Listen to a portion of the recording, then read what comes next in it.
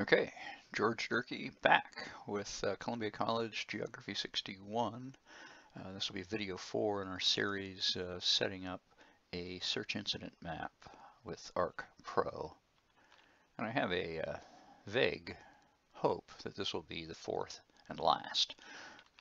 So as I said in the last video, uh, our workflow here is to define the search area. We've done that with the search boundary and then to create uh, segments that each team will be assigned to to search for the person.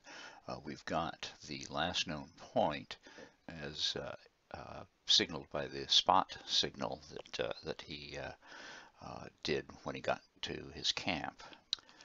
And then we created the three, the four segments here using the autocomplete polygon tool and then buffering a line uh, out and, and linking that to the search segments. So that's real basic, but that's that's the workflow. Now just to further set the scene, because what I want you guys uh, also to know, in addition to being able to use uh, the tools, the editing tools in ArcGIS Pro, but to just get an idea of what goes into a search or a fire. So as part of the investigation, uh, we got a sat image of the area just immediately after the storm. And so this is uh, the middle fork of the Kings River. And uh, this is the approximate area that uh, we're looking at. So you can see it's pretty well covered in snow. Uh, this is just after uh, that storm that went through that he most likely got caught in. And so once you have a rough idea of where the person is, you start calling in search teams. And as I said, uh, search in national parks uh, is exclusive jurisdiction. And so uh, rangers and other uh, park personnel uh, can go out, but in a search like this, uh, it's pretty obvious it's going to ramp up to a whole lot of people. And so you start calling in uh, search and rescue teams from throughout the state. And as I've said, Elsewhere, these teams are organized and supervised by their local county sheriff. And that request is made through the California Office of Emergency Services. And then they uh, call up teams that are qualified, and that's the important part here.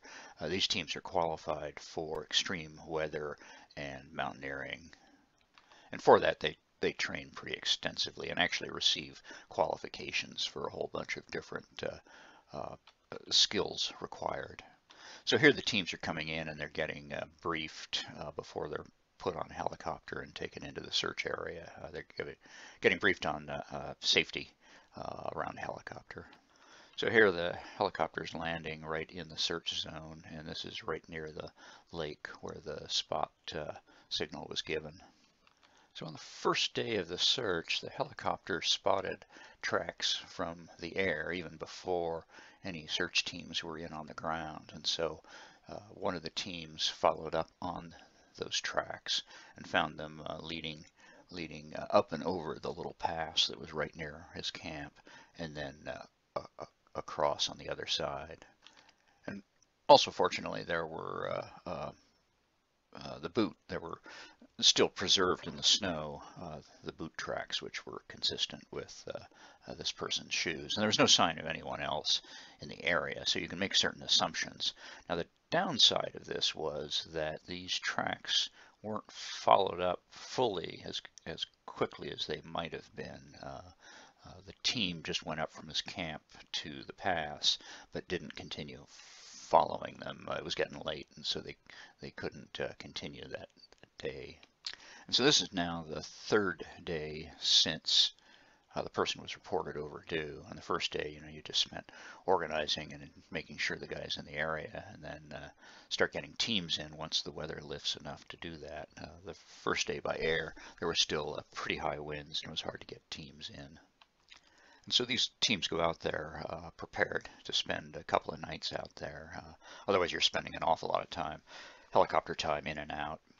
And for uh, remote wilderness searches, uh, you spend an awful lot of time getting teams in and out. You only have, uh, well, it depends on the search and your resources available, but you might get a two or three helicopters available, but it, it just takes a long time to ferry people in and out. So you you want the teams prepared to spend the night, and it's uh, pretty gnarly out there. Uh, a little frost on the bags there, and uh, these guys aren't even using uh, tents, so they go pretty light.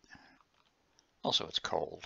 Uh, that's, why, that's why these guys are so highly paid, uh, which of course they're not. they're volunteers, and so they're just doing this because it's actually kind of fun, but also because they're trying to find somebody uh, who's out. So in any event, uh, they're out looking for clues or ideally uh, the person who's overdue. And each clue that's found is radioed in with the coordinates and a description of uh, what it is. And when the teams come out of the field, uh, we interview them, uh, debrief them, and download their uh, GPS. And if everything goes smoothly, then we've got their route right there for them to look at and to uh, jog their memory of where they were, and they can describe uh, what they saw. And in, in addition, over on the Inyo, other search teams are searching this area here and uh, uh, we're combining maps so we can look at uh, everybody's data and share uh, day by day uh, the plans of, of what to do next. So this was a pretty big operation. I think we had at least three, maybe even four helicopters uh, at the same time and probably 70 people out in the field. and to find 70 folks that are qualified for uh, high altitude uh, search uh, and who are in shape to do it.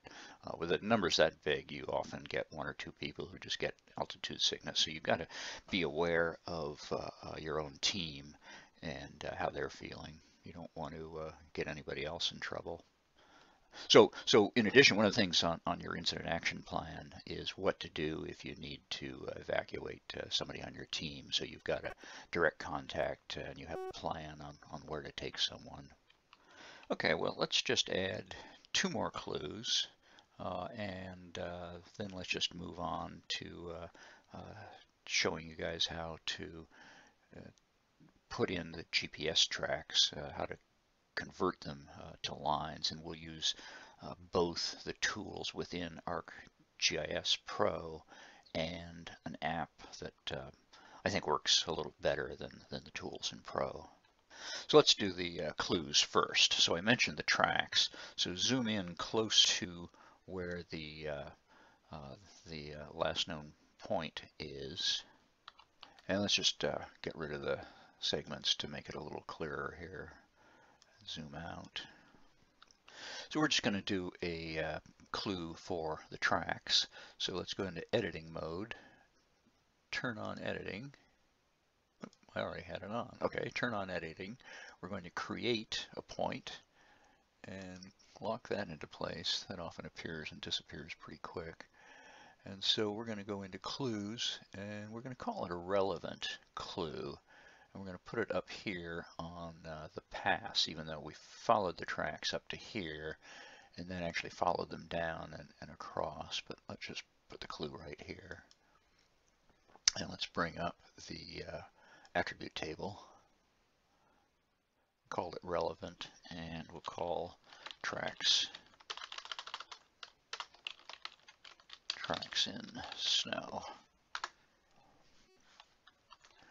Let's clear the selection.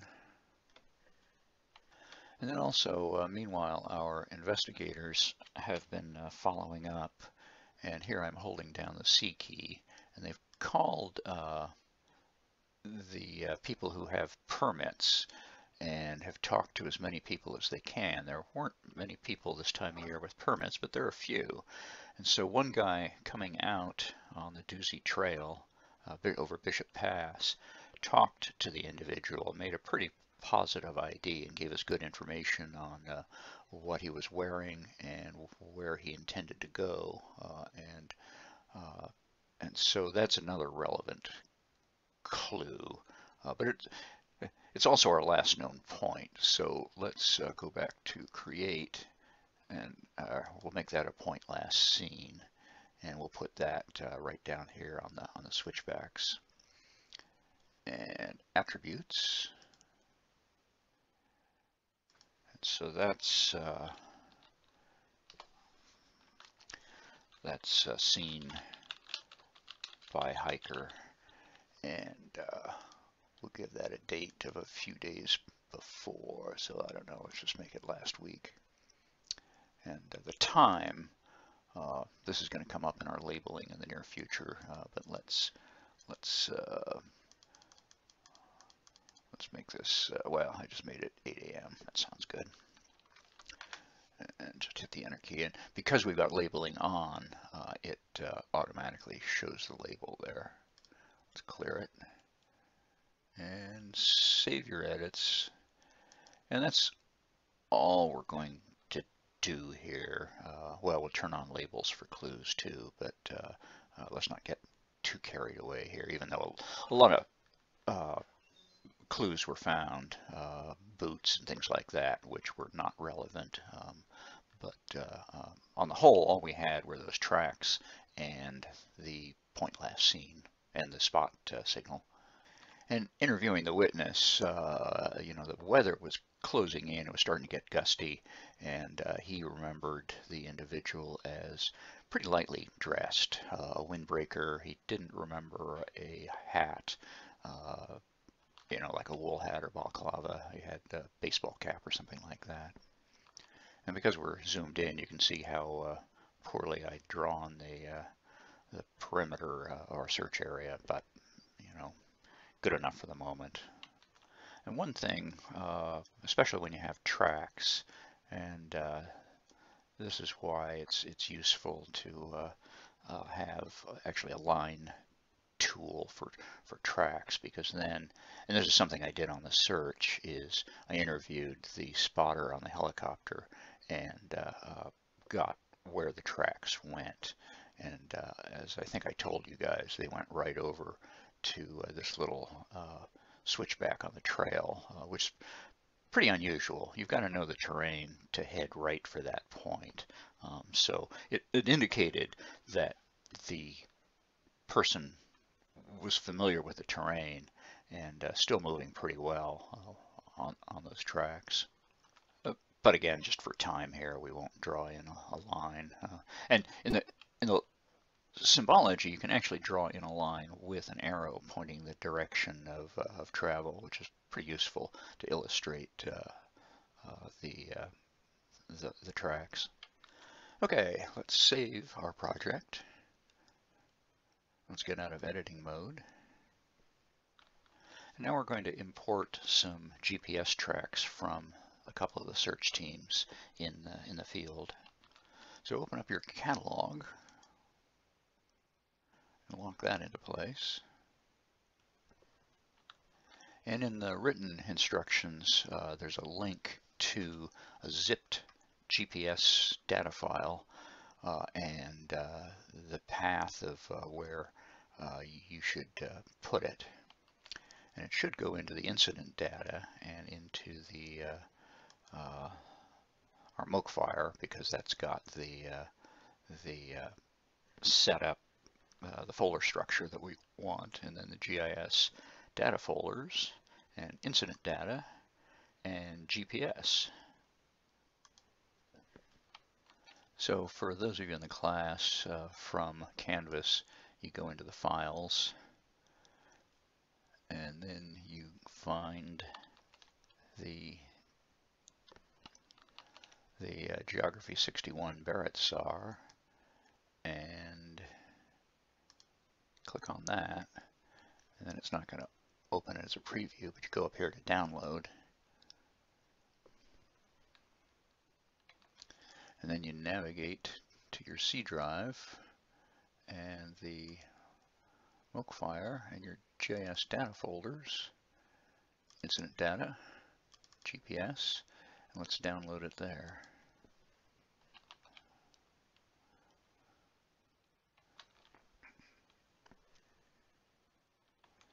And uh, if people are using a GPS, dedicated GPS device instead of their phone, uh, some GPSs have a proprietary uh, uh, file type uh, and you might have to convert those.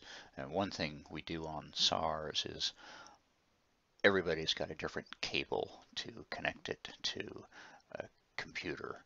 And, uh, you, you, know, I, I'll show up with a huge bunch of cables that you kind of hope connects to anything people show up with. Now, ideally, everybody's using phones nowadays, and assuming you have a data connection, a phone connection, they can just email it to you, and, and that works pretty well.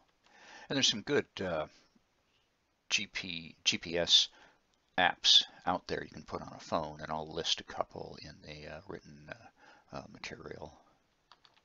In any event, um, back to catalog, and you'll notice that the GPX don't show up in your catalog folder, and that's because they're not yet a uh, uh, ESRI type file that it recognizes, and we're going to have to convert it using uh, a tool, a couple of tools actually. So let's next go to analysis, which is how we uh, access our tools uh, folders and bring up tools, lock it into place, and enter the search term GPX. And this will give you all the tools that are uh, uh, associated with uh, GPX. And so this is GPX to feature. So what that does is it converts a GPX GPS file uh, in the GPX format to a feature class. So bring that tool up, just click on it. It's pretty straightforward. You have an input and then you have an output feature class. So for your input file, uh, click on the folder here and let's navigate to uh, our 2021 MOC fire and the fire data and then the incident data and then the GPS. And so now it shows up the GPX files. And uh, so let's start off with the October 21st uh, GPX file. Now ideally the file naming conventions will have the date and the team and maybe even the name of the searcher. But the team is uh, uh, pretty important and uh, actually included in the GPS folder is the file naming uh, convention that, that we prefer. Anyway, highlight that, go OK, and that uh, fills it in here. And in my case, it adds a 2 because I've already done this, so it automatically uh, uh, gives it a different file name. And then run. Now let's zoom out a little bit and find out uh, where that is. And it's uh, down here on the Muir Trail. Uh, so this is probably the second or third day of the search and a team uh, went down and you can actually see where they went. Uh, they went all the way up to uh, what's called Mather Pass at 13,000 feet, just clearing that whole trail to make sure he wasn't somewhere along there. Because the theory was as the storm moved in, he might either have gone over that little pass and then dropped down to get out of the weather and down into the trees, or even uh, went down uh, either of these two drainages here, and both of those were searched as well. I'm only putting in just a little bit of a couple of the uh, GPS GPX files so that you have practice uh, uh, uh importing them using the uh, ARC tool.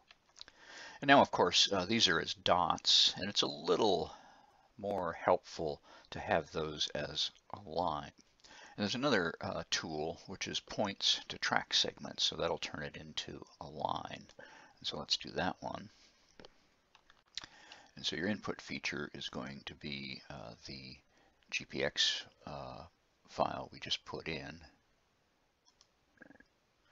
And then the date field uh, is the date time, and that's the only one available for that. And it, it uh, defines the file name already, and so it points to track segments. And let's put, uh, in our case, JMT to show where that is. And uh, you can group them uh, and and you can uh, include some other information here, but we won't have to do that. Those are optional. And let's just run. Takes a little while to run this one, uh, and I'll show you why in a moment. Okay, so it's assigned a uh, pretty wide yellow uh, line symbol, which uh, we'll change that right away, and uh, there'll be some other interesting stuff here uh, that, that I'll show you. So let's get rid of the completed box here, go over, let's change this into a line. And so in our symbology here, we have several GPS type lines that we've standardized, helicopter, aircraft, or uh, GPS or hand drawn, uh, which is important if you're debriefing people and either their GPS doesn't work or they uh, or didn't uh, or they don't have one. Uh, in fact, I was interviewing a team once, uh, not a regular SAR team, and and I asked them if they had a GPS, and they said yeah. And so I said, well, can I download the track? Well, they didn't know to turn it on. So um, anyway, uh, sometimes you run into problems. Anyway, we're going to assign uh, the GPS track here. Now, here's a couple of uh, fun things. Um, notice we have these extra uh, lines in here. Um, and that's we're going to use the editing tools to, to get rid of those. Uh, but when you when you download a GPS, it connects a line according to the timestamp. So it'll connect a line um, from the last GPS GPX point and to the first one. So if you use it over a number of days, uh, what you end up with uh, uh, is these lines coming from all these other places the uh, search person has been. So he was on a search up towards uh, the north part of uh, of the Sierra National Forest there, and anyway, he's been all over. And so all of those places the person has been are now connected by lines, uh, uh, which makes it more than a little confusing. And you always tell searchers to clear their GPS. They can save their old tracks uh, and then to start a brand new session on their GPX. But uh, a lot of them just don't do it. And, and you also ask them to, so this is coming from the heliport at uh, Ash Mountain in Sequoia Park. And so then it just flies directly to um, to the search area.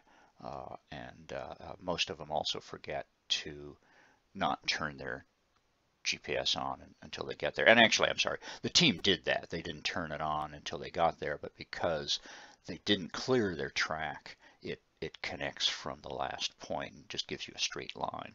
Sometimes it's useful to have their flight in because uh, it, it it shows that assuming they're looking out the window and searching, it shows uh, uh, where you where they were on the route. And you can uh, uh, you can again not eliminate that, but know that it's been at least partially searched.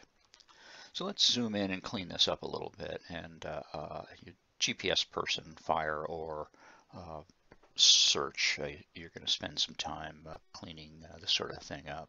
Just makes it easier to to look at and, and uh, show the terrain and show the search. So it's back to editing. We're on map. We go to edit. We turn on editing and we select, we highlight the line. And uh, actually, that's already a separate uh, file there, so can, we can just delete that and get rid of it. Uh, but what you would use is the uh, is the modify tool. And let's try and get rid of this part of the line. Zoom out. And so it's already actually done some segmenting for us. So we'll delete that. Holding down the C key, moving over, and we'll select this. And again, I'm not using the uh, the uh, and here's here's a straight line. My guess is here with no points in between and not following the trail. So my guess is here the person was down below and, and essentially in the uh, uh, rain shadow or signal shadow. The, the satellite, the GPS satellite is a little bit low in the south and so the the ridge is blocking the signal and so it's not getting any GPS signal uh, and, and, and, so it's going a section there without it. And so anyway, I'm just going along here and uh, uh, getting rid of those straight lines. And again, just to clean it up. And here's another section that uh, didn't get uh, get any GPS. So that's that's what we want here. And, and uh, I'll demo I'll demo once again how to use the uh, the split tool here. So you'd go to modify and uh, you'd go to split and you just draw a line. You, or I'm sorry, you highlight it and then draw a line across it and then it splits into into two there. Let's get the select tool again. And there. And so I'm control Z uh, just to uh, put those two together again. Okay, let's zoom out see what we have here. And holding the C key down. And that's pretty good. That shows their uh, their route there. And uh, a little yeah, this is probably wrong, but we'll leave it in. It's unlikely they crossed the river, uh, so that's probably a multipath bounce there, but uh, uh, we'll leave it. I doubt they went up that high on the ridge, but you never know, and you'd want to interview the team and find out if, if they did in fact go up there. Okay, just to move things along, let's do that to one more. Let's save, and let's get out of editing. And let's go back to the analysis tool and uh, enter GPX in the search box there. And so now we uh, do another GPX to feature, navigate to the, uh, uh let's do uh, uh, 2016 Team 17 tracks points. And so this is correct. We know which team did this, and we know it's a track file as opposed to a waypoint file. And so go OK. And again, it'll put us put it in our existing geodatabase and give it the same name, uh, except it'll be GPX to feature. And let's run. And it completed successfully. So now let's click out of that and find out where it is. Ah, and it's a nice uh, track up here. Now you can also uh, right click and zoom to feature. But remember, if we had done that with the last points here, it would have zoomed out to the whole half the state because uh, that's where the guy's tracks were. Uh, but here it's just local, so uh, that's that's pretty good. And you can see this is pretty good coverage here. Uh, they were in Dusy Basin and covered covered the area pretty well.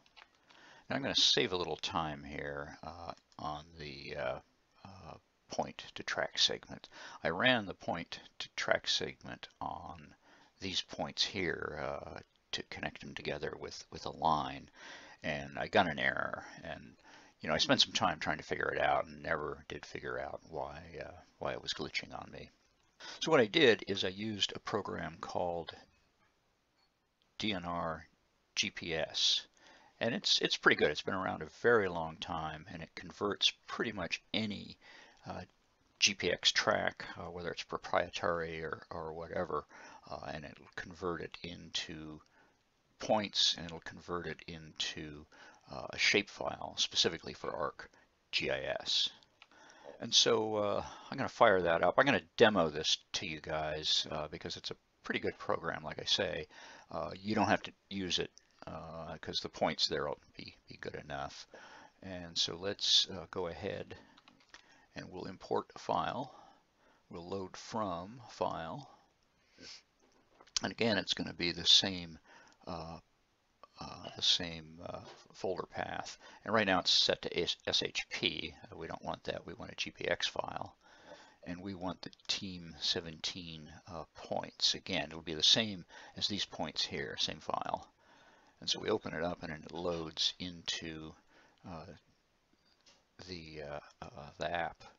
And let's make it big here. And so this actually shows you the, the points. And I think the reason that it didn't uh, connect together by line is there's no timestamp here. It just shows the date, but, but no time. So now we're going to save uh, these points and into a line. And I think this saves them into a line uh, point to point because I think it just goes in order uh, that they're loaded there and it's not looking for an actual uh, uh time field. Uh, but I'm not 100% sure of that. In any event, it works. So let's just go to uh, File, Save to File, and let's, uh, I'd already saved it as a shapefile. Let's just look at the GPX. So what we're going to do here is we're going to highlight the GPX, and that's just to give it the same name, uh, not necessary, but we're not saving it as a GPX. So let's just go ahead and go down to shape. And so that's uh, uh, what it's going to save as. We've got the name already in there. Uh, you could, of course, type it in, and I'm going to give it 2 because uh, I've already uh, saved it before, so I'm just going to give it a different number and then save. And now it gets, gives you the choice, so we can either save it as a point file, and it'll save all the same points we've already got, uh, or it'll save it as a line file, and that's what we want. And it goes pretty quickly, so there. Now usually uh, when we look in the catalog we actually have to refresh it. So um, close it up and I'm right clicking and I go to refresh.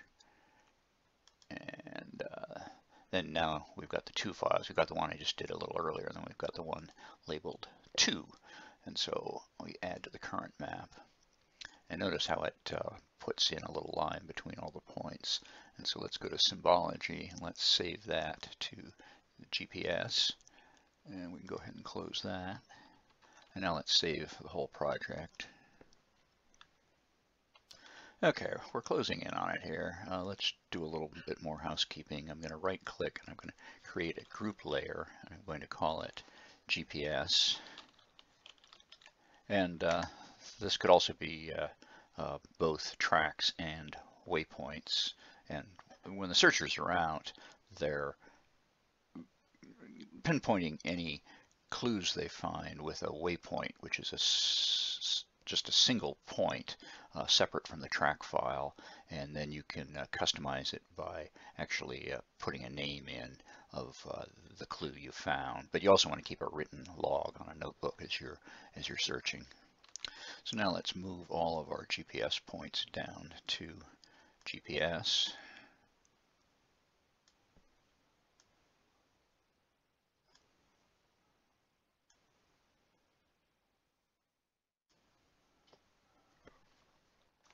And so uh, they're all now in there. And we can get rid of the points and we'll just leave the lines. Let's zoom out and see what we have here.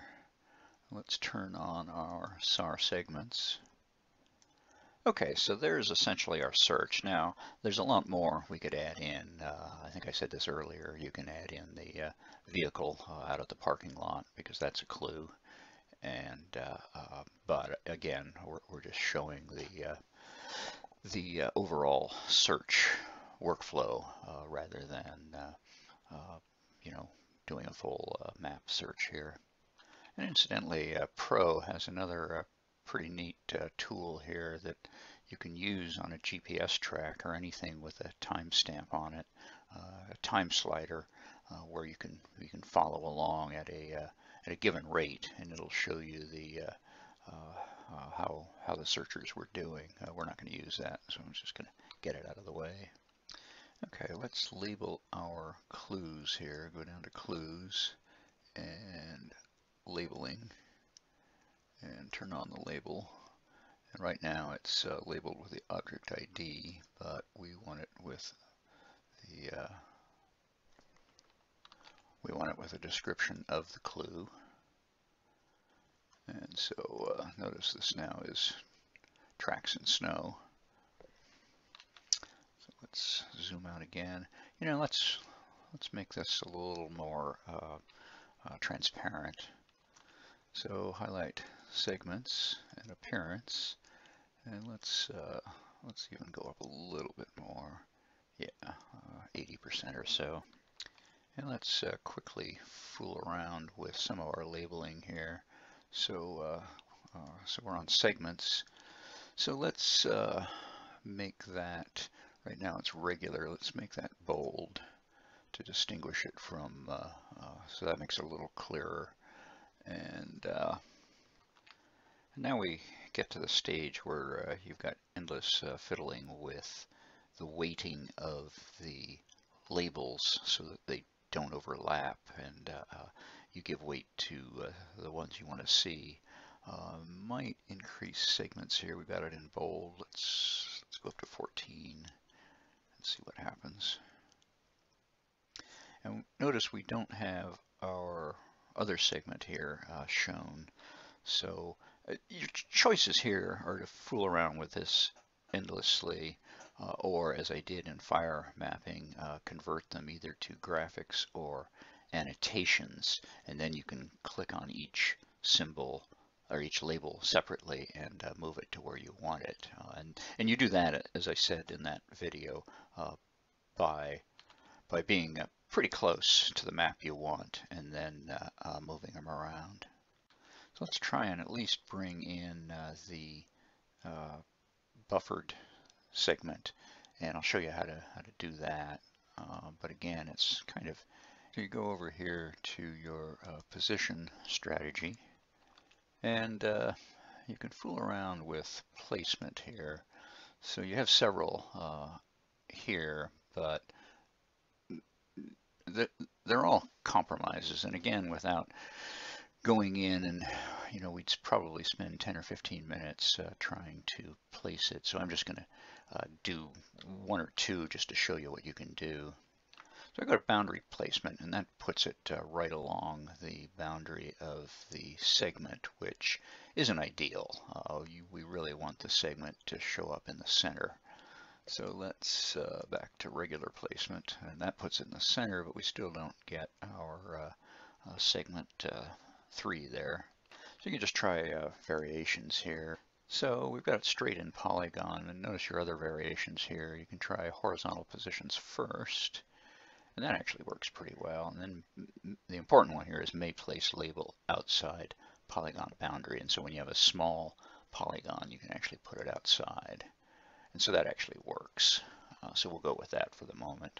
But again, uh, graphics or annotations uh, uh may make your life easier here. And uh, the labels are kind of close in here. Uh, so they're covering up uh, when you have it at a certain zoom level. But again, uh, let's just let's just print this puppy. And uh, so, so I'm going to show you two ways of, of doing uh, printing a map. Uh, the first is just printing the map pretty much as you see it. we'll get the scale and do the layout. the second way is pretty interesting in that we can actually print based on each segment. And in ArcGIS 10, uh, that was called data-driven pages. So it allows you to choose a particular field and print according to that field. And so the map can be centered on that on that field, in this case the segment polygon, and uh, create a series of pages uh, that are that are centered on whatever uh, field you choose. And so you can make, that's how we made the map book uh, for the Grand Canyon uh, River, and that's uh, how we can make team maps that show each team's individual assignment, their segment assignment, and they get a map uh, customized to their particular search area. And so that was one of the great uh, features that ARC added that uh, really makes a whole bunch of uh, uh, map types uh, possible and really fast.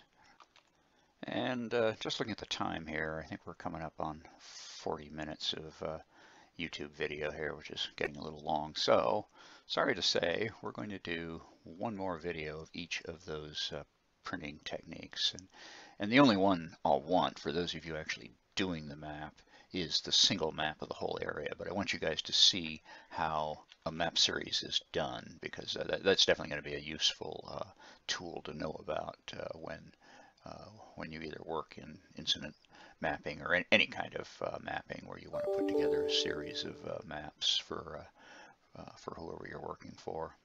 Okay, so that'll do it for video four and onward to video five, printing and finishing up. Thanks.